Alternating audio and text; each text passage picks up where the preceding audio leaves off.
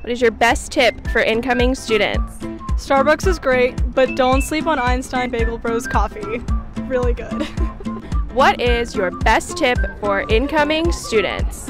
Um, if you're feeling lazy, don't be afraid to call the Pride Ride. The best place to study on campus is the third floor of the library. is to invest in a Brita water bottle.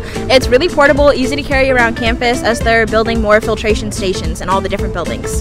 What is your best tip for incoming students?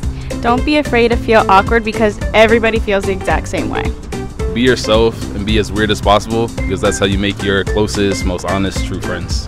In move-in week, leave your doors open so you can meet all your neighbors and meet all the new people on campus. I'd say my best tip is if you're ever hungry late at night, Tenders Love and Chicken is open till 12 during the week and 1 a.m. on weekends.